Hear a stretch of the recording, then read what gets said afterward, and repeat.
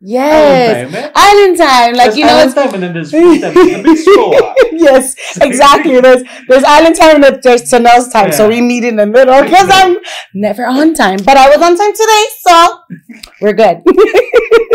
oh, so beautiful! I just landed at six thirty this morning and came straight here, so it's been amazing.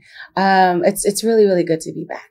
Ah, the journey in the last six years, I've learned so much about myself as a as a woman, as a Polynesian woman, um, and as a, a lyricist, you know, and how music really changes people's lives, you know, uh, especially for, for me as a musician changes my lives, but how we, how, how just us as musicians, it's, it's just a blessing to be a musician. Music is a universal language.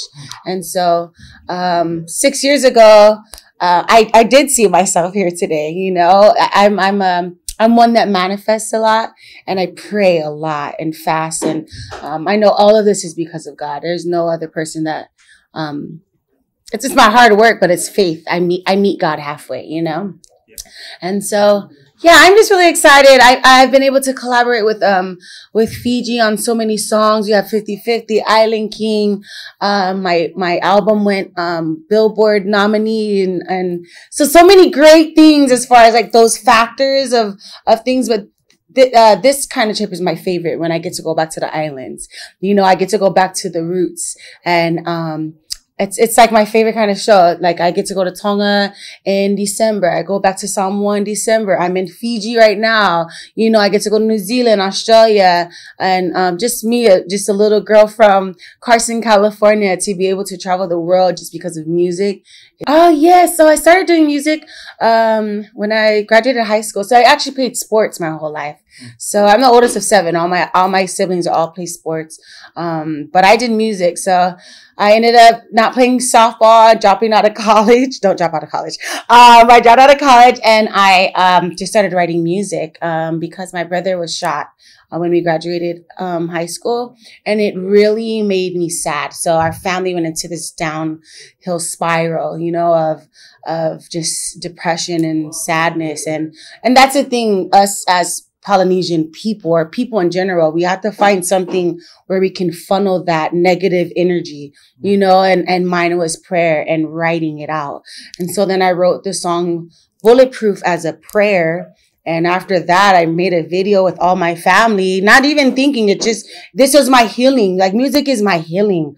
And if I, through my healing, I'm healing others, you know? So it's like the Bible says, iron sharpens iron. And that's exactly what I'm here to do. So I, I started that and through my brother's testimony with him being shot, he just passed away. Um, it was his one year last month. And so his name is Justin Luafalimana and he just really makes, um, me who I am, you know, um, all of his, um, all of the things that happened to him is, is what made me look at the better side of things, you know, the brighter side of life, you know. Um, and so, yeah, I, I started to travel the world, um, with Common Kings. And that's when I first came here to Fiji.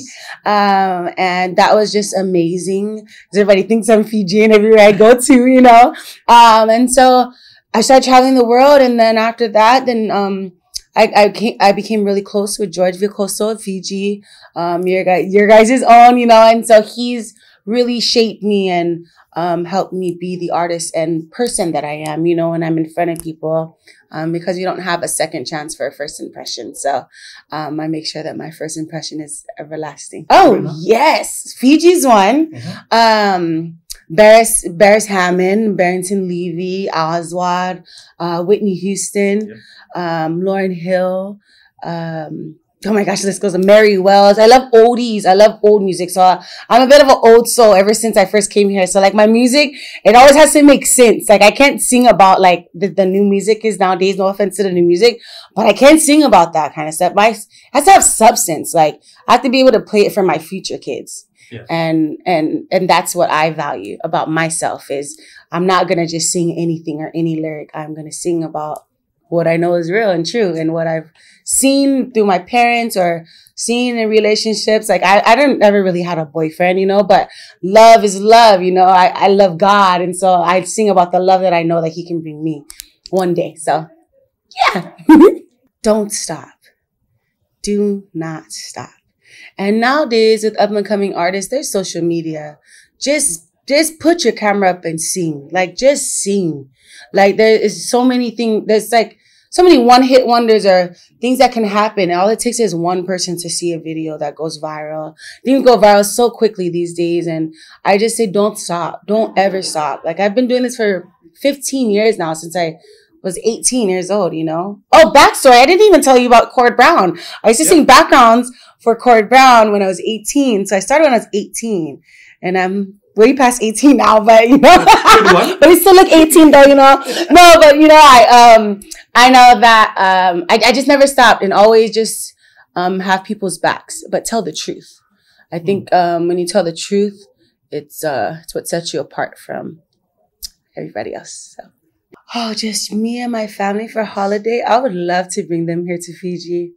I would love to bring my dad here to Fiji. He would love it. Um, my siblings, you know, all my siblings are like so tall. They're like six, eight, you know, super. And then, then they would just love being here, just away from um, Los Angeles. You know, the busy, fast paced life of you know going, going, going. But I do want to. I want to bring them to Fiji. Um, definitely, I would say losing my brother is definitely one. Um, and then I had a, a, bit of a heartbreak um, at a period of time in my life where I had to um, just kind of start and venture off myself. So I manage myself now for the past uh, seven years. And so I am self managed, self labeled, um, independent. And so if I can do it and figure it out, anybody can do it and figure it out like with with it being music you know there's so many avenues of music for distributing your music you know out to like i started by just like literally emailing every single person i knew um, but it just it just takes applying yourself and really faith faith without works is dead that's it's that description in the bible but it, i really live by that Bula to know, make sure you come to the Wailoaloa Beach Club for the Stir It Up Music Festival 2022. Let's go. Last time we met, you said you love kava. I do. Is it still the same? it's still the same. It's still the same. All right. Thank you very much for the interview. Thank you.